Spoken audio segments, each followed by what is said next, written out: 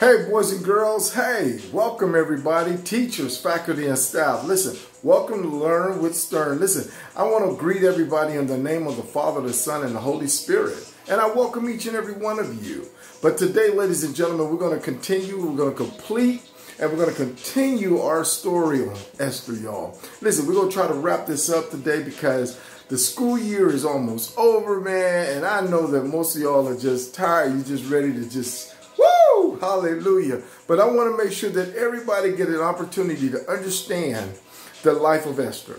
And I want you to get the full gist of why God wanted you to know about her life. Listen, because Esther was so significant. She was so significant in the biblical history. And she is going to be significant in your life if you embrace her. If you embrace her life and you accept the trials and the tribulations, boys and girls, and ladies and gentlemen, because we can relate.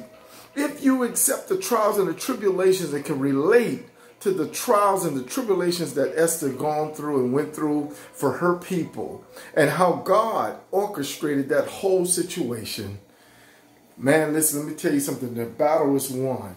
But I want to make sure, let's go ahead and start for the sake of time. I'm not going to spend a whole lot of time uh, talking and introduction and so on. I want to get right down to it because we're wrapping up. And then listen, I want to make sure y'all are here this Friday, y'all. This Friday, make sure y'all are here this Friday. We got an awesome hype service for y'all, man. Listen, we're excited about what God is doing, man. God is going to do an awesome thing in your life and he's going to speak to your life. So I want to make sure that everybody's here this Friday. Make sure y'all are here because Friday, y'all, we're going in. Friday, that's right, Friday, we're coming back. So listen, we're starting, remember chapter 8.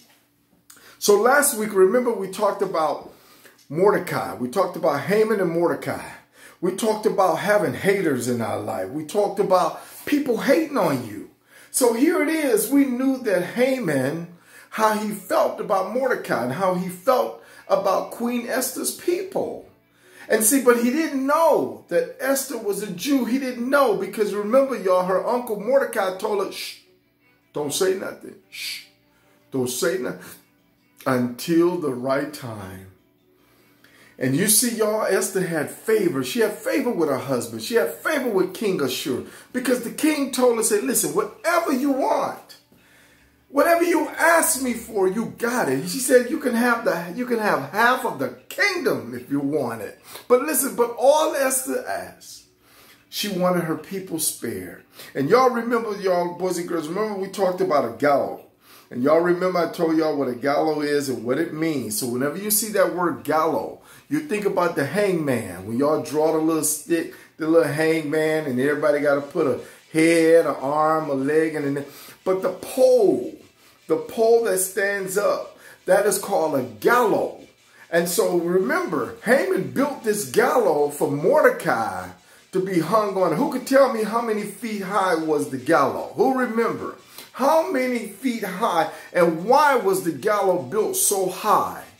Yes, I want you to tell your teacher. Whoever get the right answer, I hope the teacher give you a piece of candy.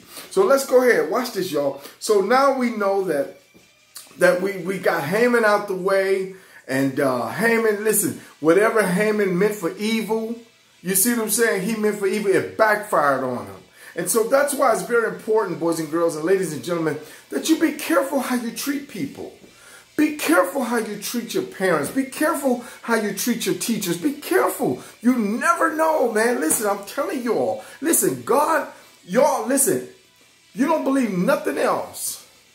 You believe me when I tell you, God said, listen, I, he says, I will execute justice for the oppressed people. I will take care of it. That's right. God said, listen, if you just be still, I'll fight your battle. If you just be still, said the Lord. So God will fight for you if you let him. But make sure, boys and girls, that y'all don't go around mistreating people. Make sure you know how to treat people right. So we're starting in chapter 8. Watch this, y'all. Starting in chapter 8. So there's a decree Watch this. The decree has been revoked. What decree, you say, Mr. Ferguson? The decree. Remember the decree the king made that all the Jews, because of Haman, all the Jews are to be killed? Remember that, y'all? Yes. So now you're getting ready to see that the decree has been revoked. It's been canceled. It's been changed. And, and it's the same way in your lives. It's the same way in your life, boys and girls. Listen, let me tell you something, and I'm declaring and decreeing right now. Whoever I'm speaking to, I don't care if it's a first grade, a kindergarten, a second, a third, fourth grade. Listen, you know, you know if there has been attacks on your life. You know that there are people around you that hate on you. You know that there are people that don't like you. People that don't want to be your friend. There are people who wish that you would not even live anymore. But I'm here to tell you that the God that we serve, y'all, listen, hey, let me tell you, his favor is on your life. If you've accepted Jesus Christ as your Lord and Savior, the blood of Jesus covers you. That's right, the blood of Jesus is covering you from all hurt, harm, and danger in the name of Jesus. Build and develop a relationship with our Lord and Savior. Watch this, y'all. So the decree has been revoked. On that day, watch this, the king assures give the house of Haman, the Jews, enemy, the Jews' enemy. The house of Haman was the Jews' enemy, y'all, unto Esther, the queen, the queen. Wow. And Mordecai came before the king, for Esther had told what he was unto her. Oh, wow. Look at this. And the king took off his ring. He took off his ring, y'all. The king took off his ring. Listen, he took off his ring, boys and girls. Watch this. He took off his ring, chapter 1, verse 2, which he had taken from Haman, and gave it unto Mordecai. And Esther set Mordecai over the house of Haman. You see that, y'all? You see, boys and girls, you see that? When somebody mean to do you wrong and somebody want to hurt you, somebody want to harm you, God will flip that situation, man. I'm telling you, but you got to believe. You got to believe and trust God, boys and girls, like never before. Because the devil seeks to try to destroy you and he will not get the victory over your lives. You got to believe. I'm telling you, listen, I'm, listen, I'm reading the Bible. This the Bible. I know y'all like, Mr. Ferguson, this can't be happening in the Bible. This sounds like one of them BET soap operas. No, I'm telling you. Boys and girls, look at this. Watch this. And we're talking about a husband and wife, the king and the queen, y'all. That's right. The king and the queen working together as one. Look, watch this. So the king took his ring off, which he had taken from Haman after they got rid of him. And he gave it to Mordecai and Esther. And he sent Mordecai. He went on ahead. Now Mordecai is in charge of the house of Haman. So Mordecai got Haman's job. Woo! I'm sorry, y'all. I got excited, but I got goosebumps on now. Look at goosebumps. Whoa! You're like, this part, you really got goosebumps. Man, listen. Because I've seen God do it. I've seen him do it in my life. And I know he's going to do it in your life, boys and girls. Whatever and whoever the devil is using to try to destroy you and try to hurt you and harm you, God one day will work it out, boys and girls, but they will they will end up having to bow to you. They will end up having to need you. They're going to end up having to, to come to you for help. But just stay faithful. Just like Mordecai, y'all. Please remember, Mordecai did not try to hurt Haman. He did not try to fight back. He didn't say any bad words about Haman. Remember, Mordecai, he just did his job every day at the gate. He just did his job. He just did his job. He just kept doing his job and he trusts God. He trusted that God will avenge his people, y'all, through his niece Esther. Watch this. So let's go, y'all. Come on, y'all. We got to keep going. Verse 3, watch this. And Esther, she spoke yet again before the king. And she fell down at his feet. Oh, my goodness. And besought him with tears, with tears to put away the mischief of Haman the Agagite. Listen. And his device that he had devised against the Jews. When the king held out the golden scepter, listen, watch this, the golden scepter towards Esther. So Esther arose and stood before the king and said, It is pleased, and if it please the king, and if I found favor in your sight, and the king seemed right before the king. Look, watch this, y'all. Right. And it seems right before the king, y'all. And I be pleasing in his eyes. Let it be written to reverse the letters devised by Haman, the son of the Hammedatha, and the Agagite. Listen, watch this. Which he wrote to destroy the Jews which are in all the king's provinces. Woo! Y'all see that? Y'all see that, boys and girls? Listen, man. If you don't get that, listen, you got to get that. Because here it is. It's showing you and it's telling you, boys and girls. You see that? Look at how she got favor. She got favor. Oh my God, favor. And favor is upon your lives. Y'all need to believe that. Listen, why do you think y'all at Shepherd of God Christian Academy? Why do you think you end up with somebody like Mr. Ferguson speaking over you, teaching you the word of God? Why, boys and girls? You don't see the big picture. Listen, all of that is God's favor on your lives. All of that is God is moving you in the direction that he wants you to go. Because he has a plan and a purpose for your life. I'm telling you, watch this. Listen, there are no coincidences. And then watch this. Look at what it says. This is what it says. Let's go down. Let's keep going. Watch this. In verse 6, it says, For how can I endure and see the evil that shall come unto my people?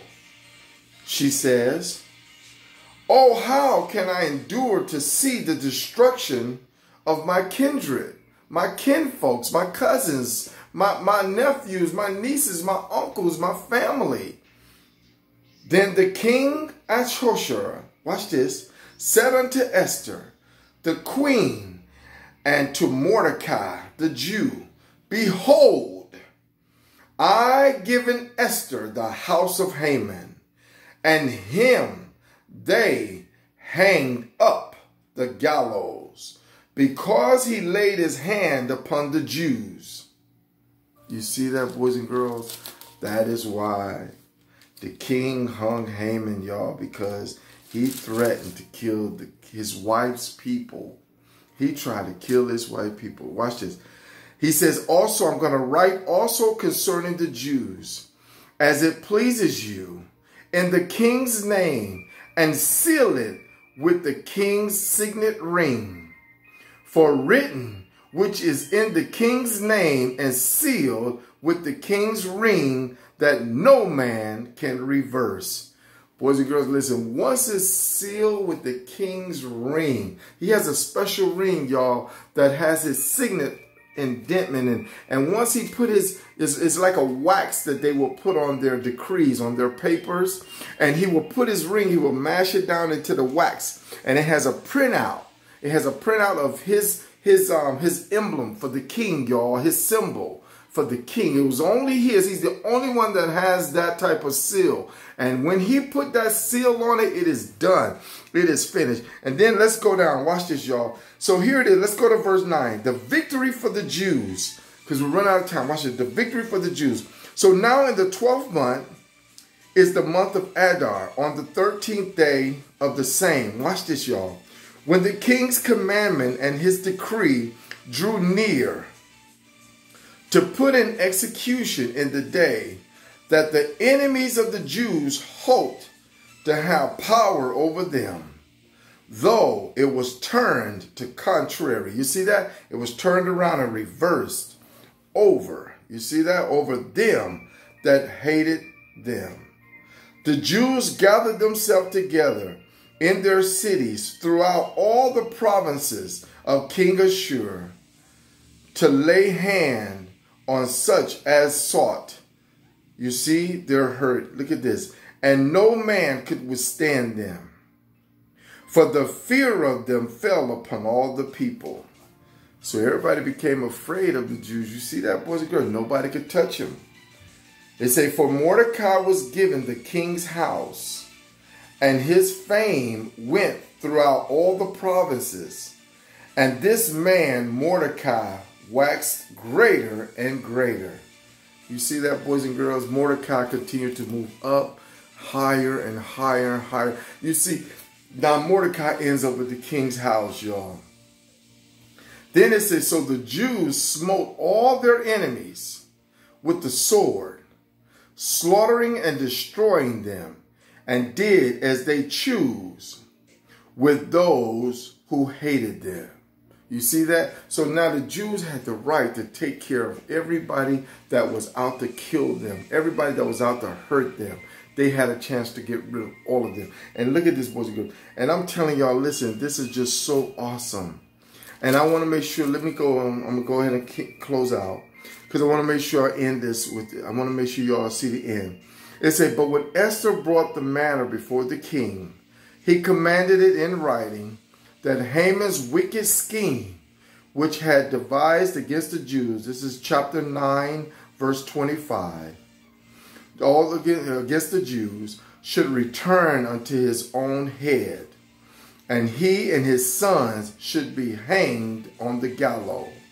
Therefore they call these days Purim, the day of Purim, after the name of Pur. Therefore, because of all of this that was done, and all of this in that letter, boys and girls, and they had faced, listen, in this matter and what had happened to them. The Jews ordained and took it upon themselves and their descendants and all who joined them with, listen that without fail, every year they would keep these two days as the appointed time and as it was written. So to this day, boys and girls, the Jews still celebrate. And they make jokes. I remember people make jokes about the Jews have a lot of holidays during the school year and stuff. The Jewish people are out of work and they're out of school because they have so many holidays. But these days are so sacred because these are God's chosen people. Y'all listen, let me go to 31. To confirm these days, watch this, to confirm these days, days of Purim, should be observed at the appointed time, as Mordecai the Jew and Queen Esther had commanded the Jews, and as they had ordained for themselves and for their descendants in the matter of their facts and their lamenting, which means their crying and their grieving. And the command of Esther confirmed these observance of Purim and it was written in the book. You see that, y'all? Through a lady. Through a lady. Oh my God, through a woman, y'all, through the queen. Those holidays, y'all, to this day are still acknowledged and still celebrated because the queen, Queen Esther, a woman that had no mother, who had no father, but she had God's favor, boys and girls. She had the favor of God. Listen. And chapter 10, come on, y'all. Chapter 10, let's go. Those who got your Bibles, come on, y'all. We're in Esther chapter 10. We got 18, 19, 22, 22. Four more minutes. Watch this. King Ashur, look at what it says. There's only three verses in chapter 10. King Ashur laid a tribute, which means a tax. He laid a tribute upon the land and upon the isles of the sea, upon the coastlines of the sea. This is what King Ashurus did and all the acts of his power and of his might, and the full account of the greatness of Mordecai, to which the king advanced him. Are they not written in the book of the Chronicles of the kings of Media and Persia? Verse 3 For Mordecai the Jew was next to King Ashurus and great among the Jews, and was a favorite with the multitude of his brethren, for he sought the welfare of his people and spoke peace to his whole race.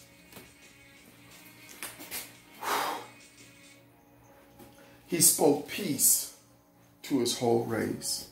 Mordecai, a servant of the king, who ends up becoming the closest second next right hand man to the king. And I'm here to tell you, boys and girls, listen, some of you that are sitting here under the sound of my voice, you need to understand that there's going to be times when things are going to get rough, things are going to be hard, and they're going to seem unbearable. And you're going to say, Mr. Ferguson, I can't. But I want you to get on your knees and look up to the God, look up to the sky and say, God, I look to the hills from which my help cometh. And I know that my help cometh from the Lord. Help me, Lord. And that's what I want to encourage you to do today. And I want you to believe, boys and girls, like never before and have faith like Mordecai. Have faith like Queen Esther. And y'all have walked with me on this journey. Teachers and administrators, listen, y'all have walked with me on this journey. Some of y'all may be going through something right now, but I'm here to tell you that God, if you continue to trust God, He will see you through. God will see you through that situation because His favor, His favor is upon your lives. So those of you that are here, and if you want to accept Jesus Christ, your Lord and Savior, you can do it right now. Ask God to come into your heart and forgive you for all your sins and cleanse you from all unrighteousness and fill you with the Holy Spirit and confess that you believe that he died for you in Jesus' name. Amen. Boys and girls, don't forget this Friday. I'm excited, y'all. Listen, I have a word for y'all Friday. Listen, we're going to have an exciting time. Y'all get ready. Be excited. I want your mom. I want your cousins. I want your aunties, your brothers and sisters on the Zoom live. We're going live this Friday, y'all. This Friday live. Come on, y'all. Y'all pray for the man of God. Y'all pray that I be in good health, that I make it, that no hurt, no harm, no danger come upon me. Thank you all. God bless you. I love you. Shalom.